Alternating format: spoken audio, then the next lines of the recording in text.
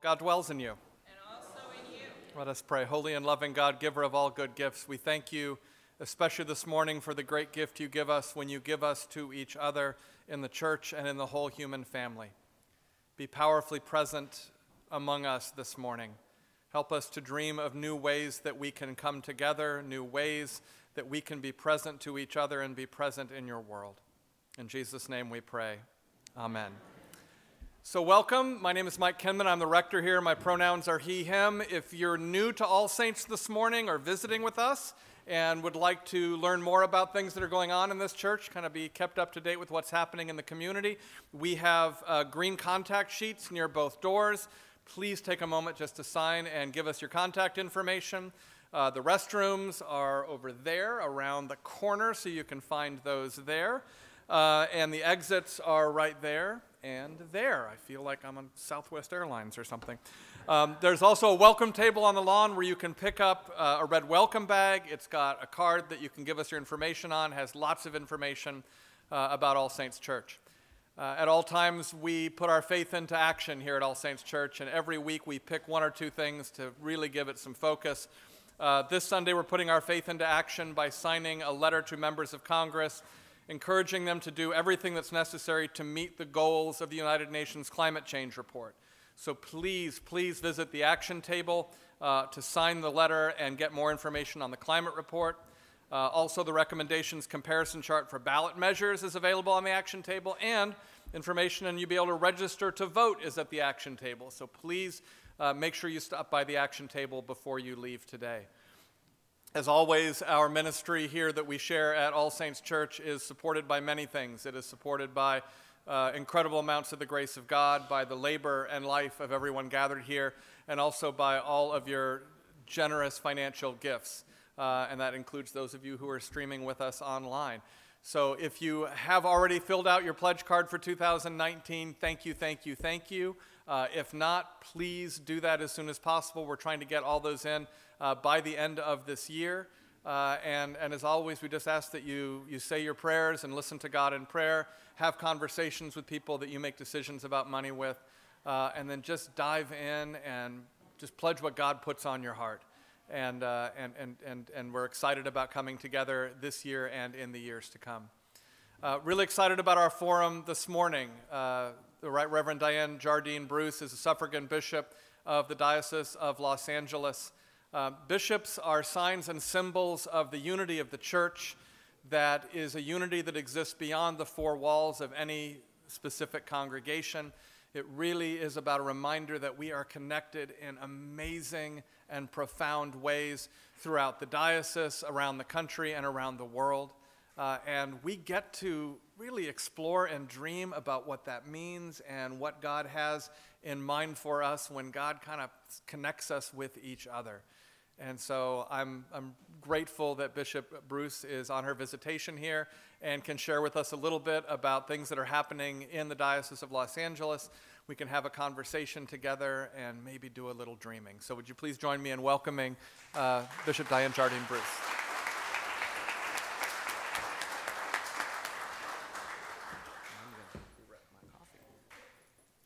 I'm short, okay. and I was born and raised in New Jersey, so you're going to hear that. Good morning again. It is so good to be here with all of you. I thought this morning I would talk to you a little bit about kind of my ministry right now and what that entails, and uh, talk and then take some questions from you. Does that sound good? Right. So I am the bishop. Uh, I have been the bishop in charge of multicultural ministries since I started uh, in June of 2010. And what that entails is uh, working with the ministry groups um, Asian, uh, Black, Native American, uh, or First Nations, and um, Latino, Hispanic groups. And that is a big passion of mine. You heard me speak Spanish and Mandarin in today's service. Those are languages that I learned um, growing up and in college. And they are the reason why Bishop Bruno and then now Bishop Taylor has continued to tap me to do this work. It is an honor to do so. And um, it is the growing edge that we have here in the diocese. I will say that I'm also trying to learn Korean, but it's very hard. I will tell you, it, it, that might be the language that does me in. Um, so, so what's happening right now is we have a growing Asian population in the Diocese of Los Angeles, and we're working to meet the needs of that, of that burgeoning community. Last night, we had a group called The Gathering that met, and that's a way to bring together Asian Americans into, into the church, into, to have conversations about religion. And what's interesting is uh, we started this because what we're seeing is Asian Americans are not necessarily coming into the Episcopal Church, but we're actually a great place for them to come into the church. What we're hearing from the Asian American community is that Asian Americans are leaving evangelical churches for three reasons. One, they want a place where they see women in leadership. Two, they want a place where they can deal with and talk about LGBTQX issues. And three, they want a place where they can doubt. The Episcopal Church is actually the perfect place for them. But here's the problem. Here's the problem. We are really good at welcoming people over 60. and when you're a young Asian American, that just doesn't fit, does it? Um, and sometimes with our Asian American community, we don't know how to deal with them when they come in the door. We ask, we ask questions like, where are you from? And when they answer Nebraska, no, no, no, really, where are you from? Um, which is, that's not the question that you ask, right? So we're actually going to be starting, it's uh, starting this coming Saturday, and a series of immersion experiences for congregations, leaders in congregations from around the diocese to understand different cultures within our diocese. So we're starting out with Chinese, uh, and that'll be this coming Saturday. And there's a group from All Saints, I'm happy to say, that's coming to that. And, uh, and then we'll, we'll spread it out through all of the other Asian communities that we have, because we have Vietnamese, Korean, Filipino, Japanese, Chinese, which is Cantonese speaking, and Mandarin speaking, and Taiwanese speaking.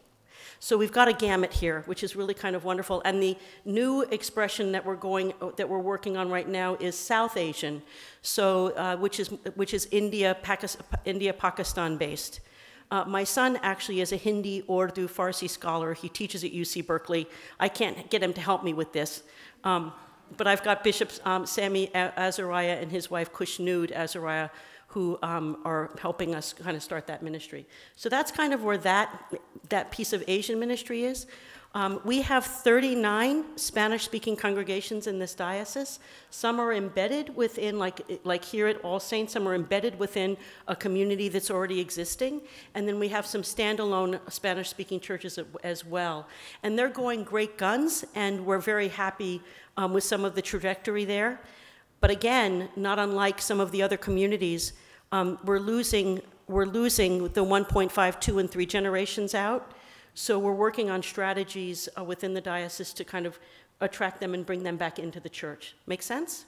Am I talking too fast? Okay, good. Because I always worry about that because I'm from New Jersey and you get going, it's like, man, man, man. Okay. Um, the growing, the big growing edge I have right now is with our, especially our historic black churches. So this week, uh, we've got the missioner for black ministries from the Episcopal Church, uh, headquartered at 815 uh, 2nd Avenue in New York. He will be with us on Wednesday so we can reimagine black ministry in the diocese.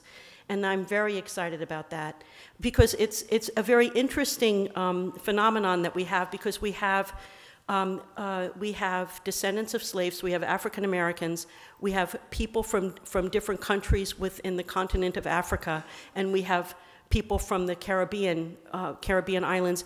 And it's interesting the way they do not, they do and they do not blend, and the way they, the, the way they dance together. And so we're going to try to reframe the dancing of black ministry within the diocese. So say a prayer for me this week and say a prayer for all of us as we gather to do that. Um, part of the reason why we're doing that is the Diocese of Los Angeles will be the hosting site next year of the National uh, UBE Union of Black Episcopalians gathering here, and I believe All Saints is going to be one of the sites that they're going to be coming to. So the U isn't that kind of cool? So uh, UBE president will be out this week also, so we'll do a site visit, so it's going to be kind of a busy week. Um, so that's that piece of the ministry that I do. Um, I was also put in charge of stewardship and development when I was first made bishop, and I still have that underneath, you know, as, as my part of my portfolio. You heard a little bit about why my heart gets fired up about these things today in my sermon. And if you haven't been to the, if you have been, if you weren't at the nine o'clock and you're coming through the eleven fifteen, I'm not going to spoil it. Not going to spoil it. But I will tell you that, you know, I get fired up. I get fired. I get fired up. All right. So when Bishop Taylor took over uh, as bishop in December of last year, he looked at me and he said, Diane, you were a banker for 17 years. And I said, Yes, John, I was. And of course, he knew that because I was his area bishop before he became bishop. Actually, he, I had to explain to him how some of the bishop things work, which was kind of fun. So, so he's, you know, I kind of mentored him when he was coming through the process to begin with. I was his supervisor before he became ordained to the priesthood, and now I kind of did it a little bit again at the beginning of his tenure. That was kind of fun. So, I like to I like to say, you know, I, mo- I molded him anyway. Um, so he said, "Well, I want you to take over finance," and I said, "What?" And so, so I took over finance, and we were blessed with hiring a new CFO, and we were blessed with uh, people coming together to help us reimagine the finances of the diocese. What that means is that historically in the diocese, the diocese saw one income and expense stream, which is the mission share fund budget. That's what everyone votes on at convention. But nobody saw what income was coming out of Corp Sole to fund mission and ministry, or what mission and ministry items were funded by the corporation of the diocese. So, with the help of people like your own Terry Knowles, uh, who sits on our think, finance think tank, along with a uh, person that is a real estate expert, a person that is a tax expert, um, and a um, assurance expert, and there's, there's one more. Why am I blanking? It's because I need water.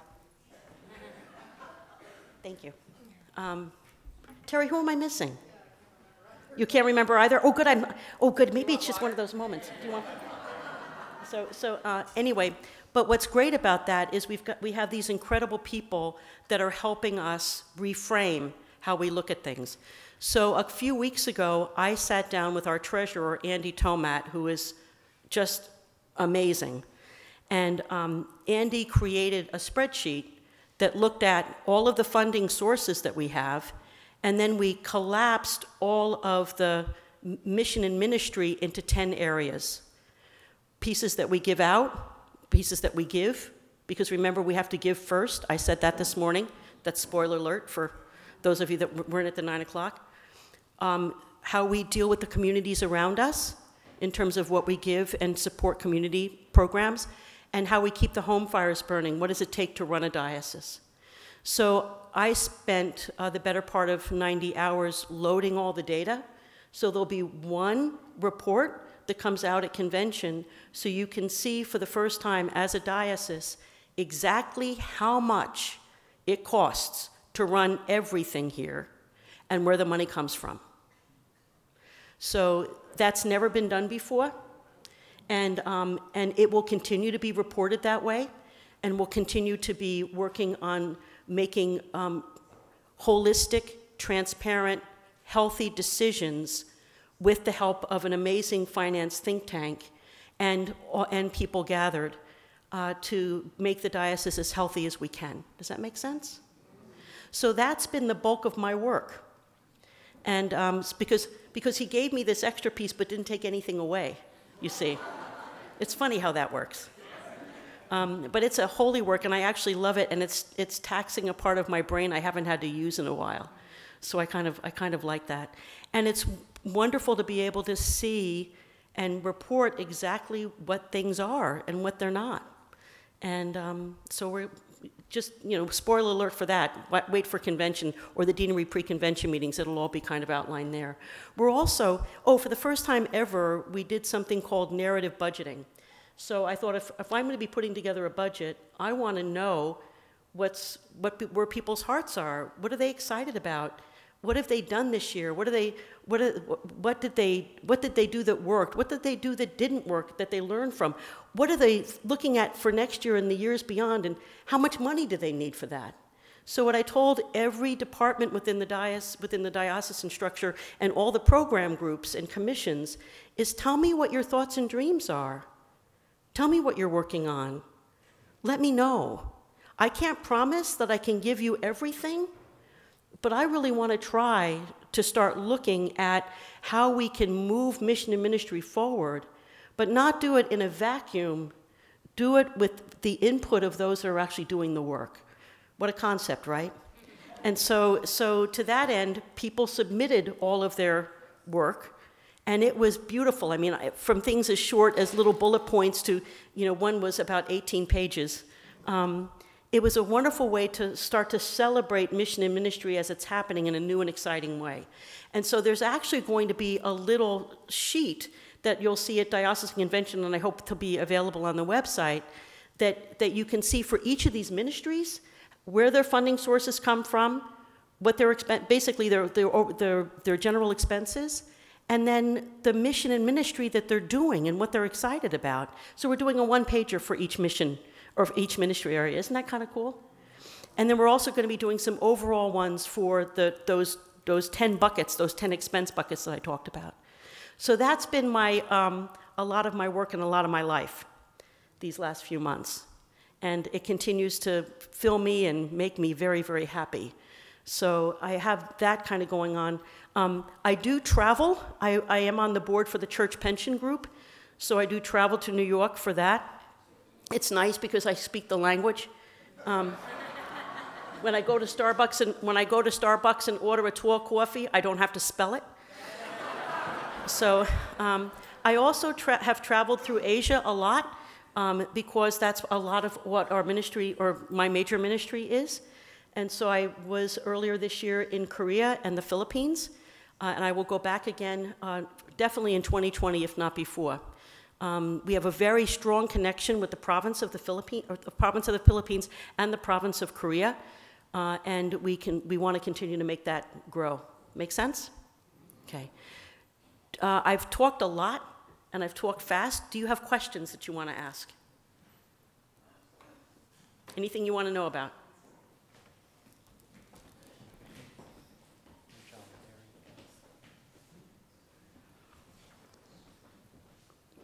Anybody? There's, there's some questions. Could you explain the uh, official position on the detainees, the immigrant detainees, and the children in cages? That is, um, as Bishop Taylor, Bishop Taylor, Canon McCarthy, and I have had long discussions about that and have written uh, against um, the whole the whole detainee, that whole it's, it's abhorrent. It's abhorrent. Um, our presiding bishop has, has written against it and spoke out against it. We have written and spoke out, spoken out against it. Um, uh, our clergy, uh, especially in Sacred Resistance, have been very vocal in their protests. Um, the House of Bishops, when we met at convention, in, at General Convention, all went out to a detainment, a detainment center. Uh, and what was interesting was one of the bishops, who kind of always gets lost anyway, got lost and went, went to an area he wasn't supposed to go to. And the detainees saw him, and because he had a group of people around him, because he's that kind of guy, and they wrote messages thanking, thanking the bishops for being there and put it up against the window so we could see. And so the bishops of the Episcopal Church, the Episcopal Church is against very much against. And, and that was the big thing when I went to the Irish workhouses um, in, in Ireland uh, just a few weeks ago. When I visited and toured there, and one of the things that we were told, and we got to see some history of that, is that the minute the entire family had to show up at the workhouse before they were accepted, and the minute they hit the door, children, the male children were put into one dormitory, females into a, female children into another dormitory. If you were a child under the age of two, you could stay with your mother, but the minute you turned two, you were in a dorm. And uh, parents were separated, male dormitory, female dormitory, and uh, oftentimes they never saw each other again. We keep on repeating history. that's a sinful history. It's got to stop. So, so there you go. Yes. On? Yes. Yeah. I'm an undercover Episcopal, want to come out. I've known you for a long time. I know that to be true. uh, your leadership is so contagious, and I don't have a question, but um, I'm still reverberating from last night's gathering uh, spirituality and music, organ and drum combo. That was quite a treat. Who knew that a Skinner organ could play jazz music? Oh my God. I was I- fabulous. Yeah, so I just want to continue to learn from you, and I've got a whole bunch of young Asian American who are wondering. So if you want to tap into my network, I've been teaching at Azusa Pacific University, and most of, more than 80% of uh, undergrad students are unchurched. So I'm going to set up an appointment with you after 11. Good. And Mike? Yeah, you bet. All right. The three of us. Okay? Anybody else? Oh, and then right there, too.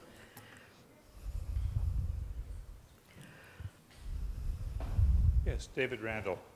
Uh, Looking at the dynamics of how the population of the church is changing and how the finances are changing, what are the areas of income that have shown the largest increase and the largest decrease? And what are the areas of expenditure that are projected to be diminishing and those that are expanding most significantly? And what are the, the overall impacts of these changes on our ministry? What, what we're seeing is that um, people with significant endowments are faring well, and uh, uh, people that don't have endowments are, are potentially, uh, if, if nothing else happens, and if they don't change the way they're doing ministry right now, um, they can be in danger. So there's a couple of there's a couple of strategies. One is uh, Bishop Taylor created an entrepreneurial think tank where people involved um, in entrepreneurial uh, ministry throughout the diocese, about 30 to 40, come together. Uh, uh, I think it's once a month, and and I've been to a couple of them.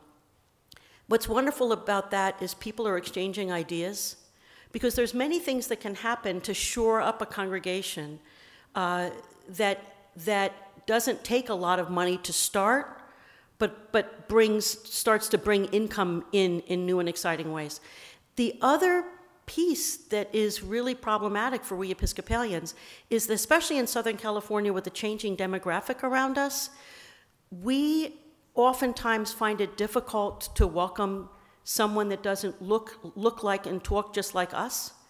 And while we think we might be welcoming, um, oftentimes uh, a person of color will be off put. And so it's trying to help people develop sensitivity into what this looks like. Um, the way that manifests itself is very interesting, even just basic misunderstanding about the differences within Chinese culture.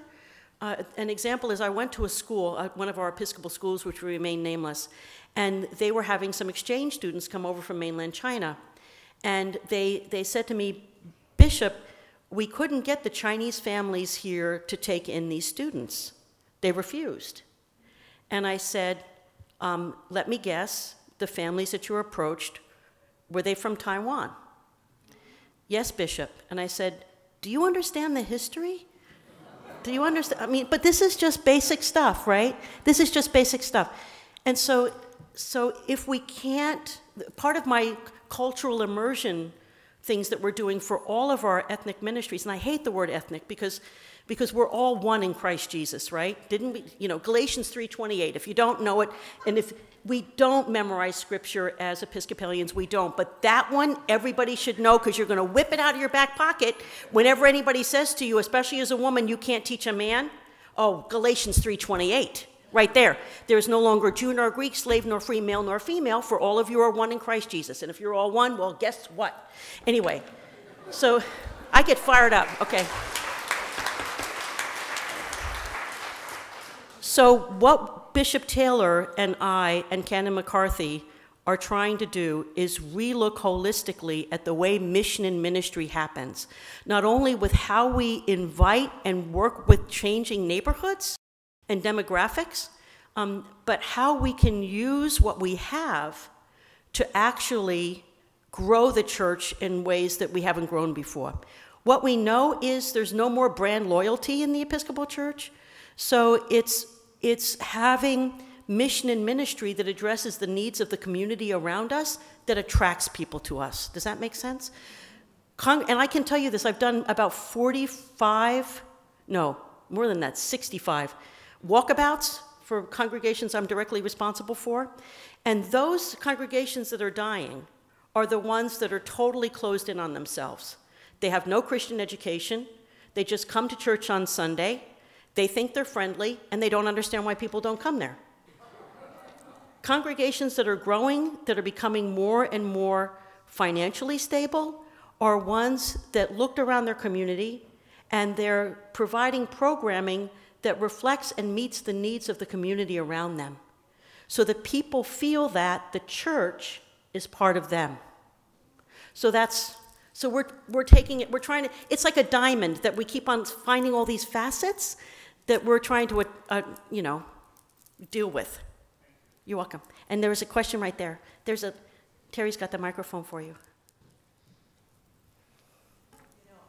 Is this thing on? Okay. You know, I, I really don't know how to phrase this question. I, I'm just struggling. But um, in this current political climate, you know, a lot, a lot of us are really struggling, really struggling uh, with anger and despair and um, I used to be politically active. You know, I mean, I was out there carrying the signs and all this business. I just, frankly, don't have the energy or the inclination at my age to do that anymore. And I mean, and so I struggle to find another way. And at this point in my life, I just see the answer is not simply some sort of political thing, it, but it's spiritual. It's the only thing that sustains me. And I'm just wondering if you could comment and give us your personal wisdom on sustaining ourselves and uh, keep believing the sun is going to rise tomorrow. Thank you. You're welcome. Um, you know, whenever, whenever my days have felt dark, um, I rely greatly on prayer.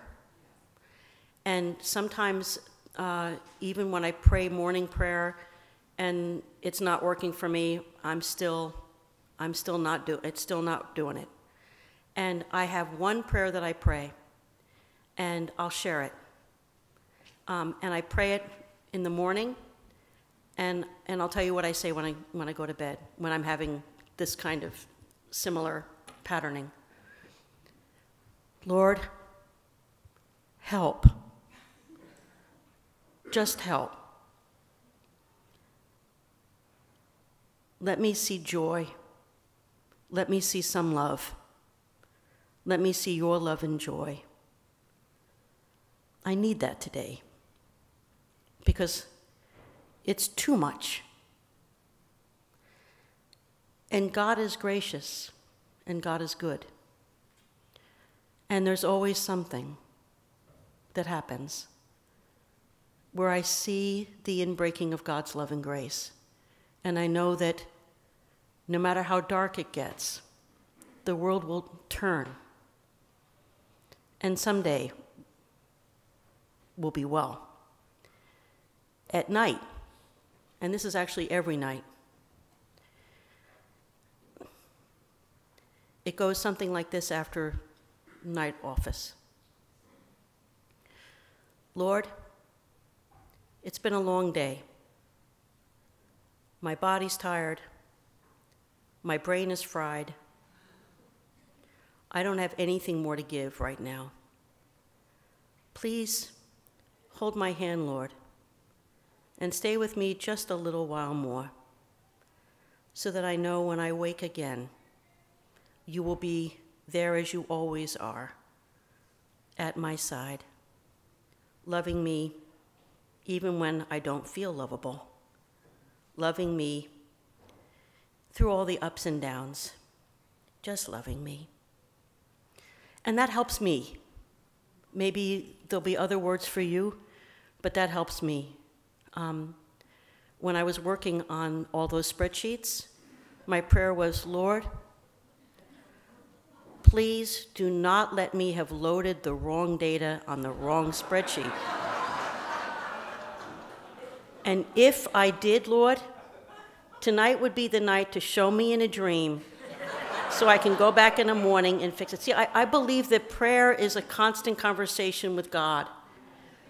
And if you're not living, if you live your life as a prayer, and it's not easy to do, but once you get it, it's like zazoom, right? If you can live your life as a prayer, then there's nothing that you can't face. And here's the deal Samuel Shoemaker said, Prayer might not change things for you, but it'll change you for things. Prayer might not change things for you, but it'll change you for things. And that's what I'm going to ask you to do, is just keep praying. And of course, vote. you know.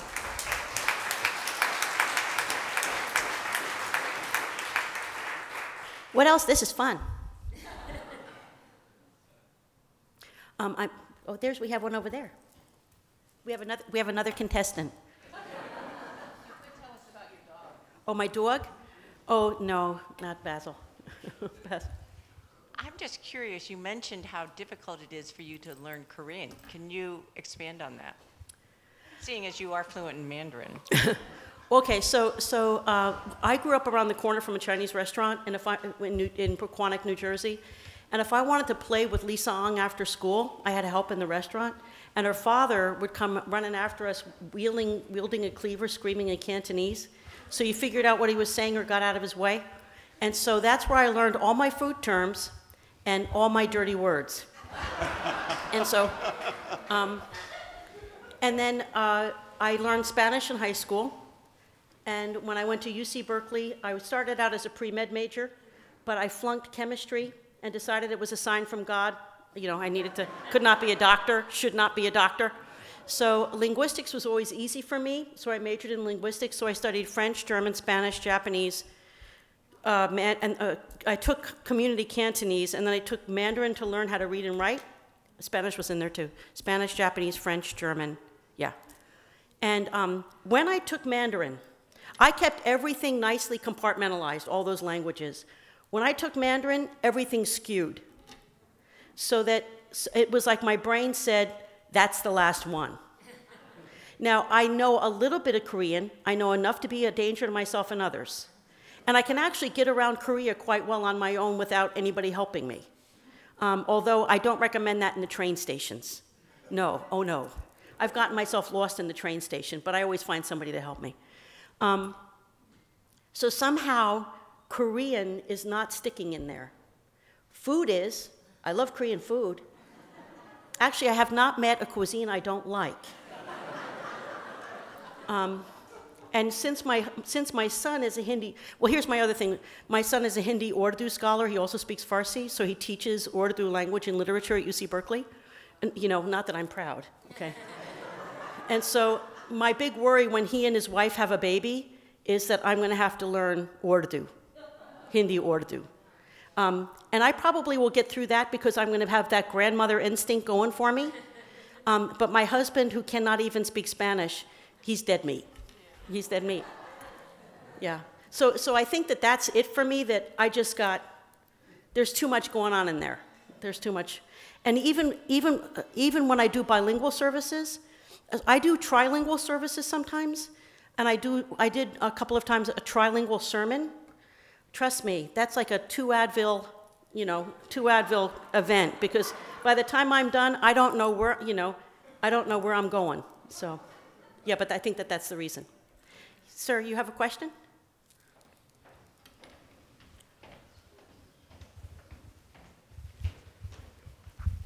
Thank you very much for coming. Just a sidebar, I'd be curious about your husband's laundry ministry. Oh, um, he and a, it's really funny. He and a young man named Christian Kassoff um, uh, started like a little community house church when I became bishop. And so uh, he says, "Can I do this?" And I said, "Well, I'm not the diocesan, but I think you, uh, you, uh, you know, anybody can come together to pray. What do we care?" And so, uh, uh, well, I didn't say it quite like that. I was nicer to him than that. Um, but they were looking for a project to do, and they discovered Laundry Love, which anybody can do. So basically, what they it, and it's a it started in Ventura. It's not a religious organization at all, but religious organizations have started to do this because what it is is you work with a local laundromat and you make an agreement with the laundromat owner to take over the laundromat for a night. You put up flyers or go door to door in neighborhoods of need, and we all, we all have neighborhoods of need, and you um, get residents to come, and you, uh, you raise money through the church or through, you know, through fundraising, for, especially for the first ones. Um, you get the quarters that you need to do the machines. You don't give the guests the quarters. They've learned that. Um, and you get, you get the soap, you get the dryer sheets, and you treat people as they come in as your welcomed and honored guests. And you help them get their laundry done. Um, they have, I think we, he, it started in Huntington Beach, and I think that there's 10 or 11 of them now running in the diocese. And he and Christian go and help people get them started when they want to start. Stephen finds Jesus there in ways that I can't even tell you. He comes home absolutely physically exhausted, but he can't sleep because he's just so full of the love of God and Christ when he does it. Um, he, they, hear, they hear people's stories, families of five living in a van, um, families of four living in a car. Uh, they've, we've paid, I've paid out of my discretionary fund for um, a mother giving birth to stay in a hotel um, because she was living in her car. And so this is the kind of stuff and ministry that they do. Um, and it's not just it's not just for people that are homeless. It's for the working poor. You know, families come that are working two and three jobs. That you know, 40 50 dollars to do your laundry. That's a lot of money. And so that's what Laundry Love is, and it's a fantastic, fantastic ministry. Oh, and they um, now they serve food. I mean, they, they, they usually serve a meal, at least the one in Huntington Beach. He also partnered a couple of years ago. He went to the open open mosque day, and the head of outreach for the for the mosque. He is now best friends with my husband, and so the mosque comes and helps them. Uh, the members from the mosque come, and they actually bring the best food. Yeah, yeah. The men from the mosque bring the best food. Yes. There's one in Eagle Rock every month, and there's one in East Hollywood. Right, and there's one in Pomona, and um, I think one in Oxnard too. Yeah. Oh, and one in San Clemente. Anybody else? So I'll ask you a question. Yes, ma'am. So there is this notion that, uh, so each parish is, uh, my language, assessed a certain amount of money, percentage of the operating budget, right? For the diocese? Is that more or less right? Mm-hmm. Yes. Well, Where it's does- not, it's mission Where does the fund. money go? We- Ooh, that's a good question. Um, the Mission Share Fund pledges uh, go 100% to the Mission Share Fund budget. The Mission Share Fund budget historically has uh, been used to especially fund, the, one of the biggest items in that budget is uh, monies to help mission congregations and some aided parishes. So, um, uh, especially mission congregations, that's where the bulk of that goes. It also goes to other ministries within the diocese and also to, su- to support the, the work of the diocesan staff itself. Does that make sense? So there's an HR person, there's communications, things like that. Um, whenever you look at the mission share fund budget, there's actually pieces of that that don't get uh, pieces of diocesan staff that aren't paid for out of that budget. And that's what we're going to be showing. Um, actually, pieces of it might get paid out of Corporation Sole, pieces of it might get paid out of the corp- corporation of the diocese, and there's different reasons for that. But this will be the first time at, um, at our convention where I'm actually going to be showing everybody what everything is. So, Mission Share Fund is one, one source of income. It's a big source, but it's a source of income for the diocesan operations and for us to be together as family.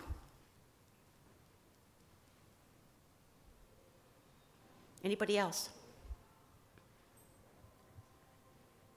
Okay. Well, I want to thank you all for listening to me. Okay? Thank you.